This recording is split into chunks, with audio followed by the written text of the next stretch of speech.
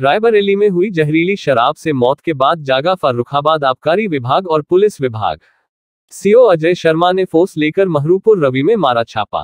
प्रभारी निरीक्षक अमरपाल सिंह भी रहे मौजूद। कई जगह पुलिस और आबकारी विभाग ने की अवैध शराब के स्थानों पर छापेमारी पुलिस और आबकारी विभाग ने ग्राम माहेरूपुर रवि अवैध शराब के स्थानों पर की छापेमारी आज सभी सरकारी शराब की दुकानें बंद होने के बावजूद भी एक सरकारी दुकान खोली होने पर आबकारी अधिकारी थाना पुलिस ने किया चालीस हज़ार का चलान। पुलिस और आबकारी विभाग की छापेमारी से मचा हड़कंप। मामला कमालगंज थाना क्षेत्र के माहेरूपुर रवि गाँव का।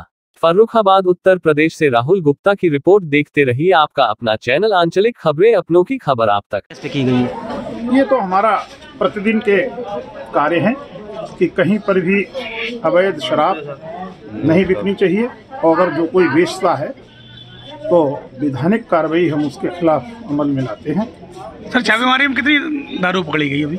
अभी नेहरूपुर रावी में मेरी कार्रवाई चल रही है लेकिन हमने एक ग्राम नसरतपुर है जहाँ पर देशी सरकारी शराब की दुकान थी।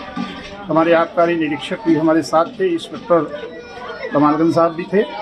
वहाँ पर उनका जो स्टॉक का लेखा जोखा होना चाहिए था वो सही नहीं मिला है। और आज बंदी का दिन था।